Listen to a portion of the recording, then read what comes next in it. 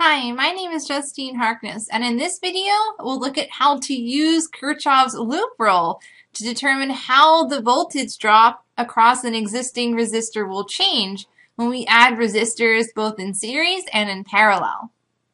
Kirchhoff's loop rule states that the voltage drop across any complete loop is equal to zero. And let's take a look at what a complete loop in a circuit actually looks like.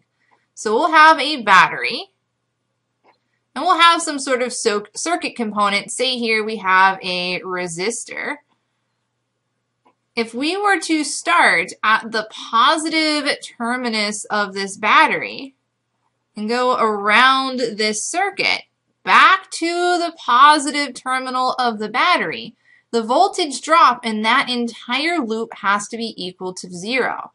This means that the voltage that we gain going up the battery must be equal to the voltage that we lose across this particular resistor. So in general, the voltage that you gain in a battery must be lost as you come back through the circuit. And let's take a look at what this looks like when we have resistors in series and resistors in parallel. Let's start with resistors in series. So here we'll draw out our battery. And let's say we'll have two resistors in this circuit. We have R1 and we have R2.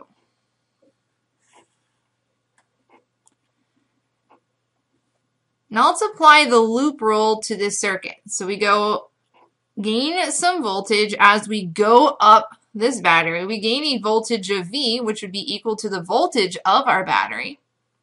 And then we go through our resistors.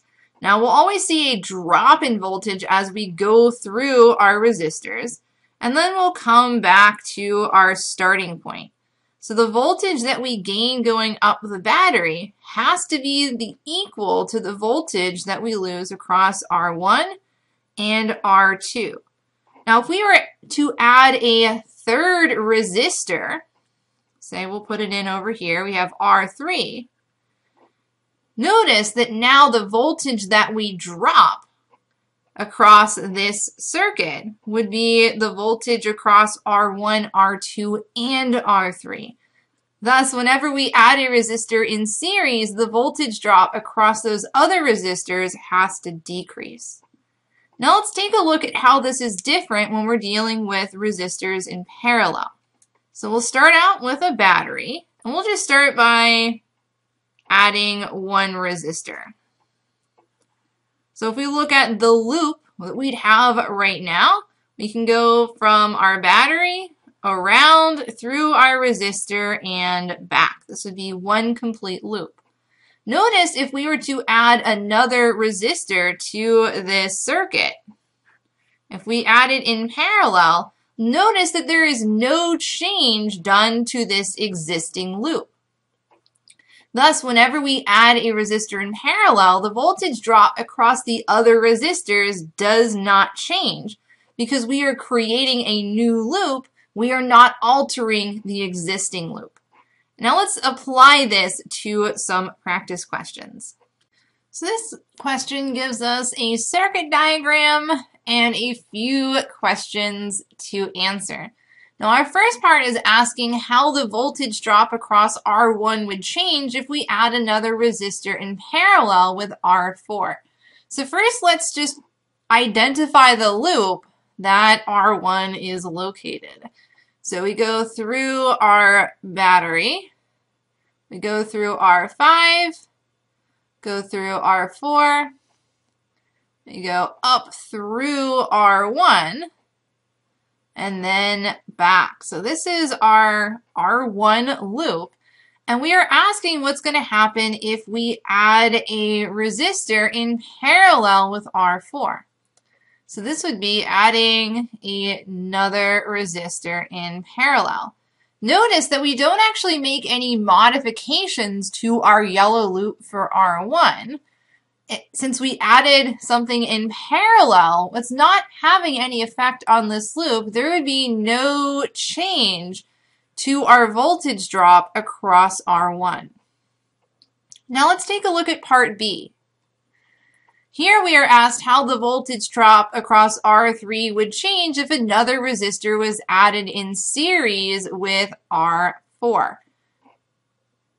So let's first identify our loop as we did before. We're looking specifically at R3. So we can go through and trace the loop that we go through to get go through R3, going back to our battery. Now here we are adding a resistor in series with R4. So this would be like adding another resistor over here.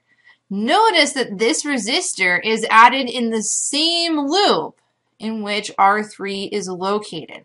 Since we have more resistors to pass through to get back to um, complete our loop, we would expect to see a decrease in the voltage drop across R3 since this new resistor would be added in series to R3. Finally, let's take a look at part C. This is asking us how the voltage drop across R3 would change if another resistor was added in series with R1. So again, let's identify our loop for R3. We've already looked at this one before. So here's our loop that contains R3.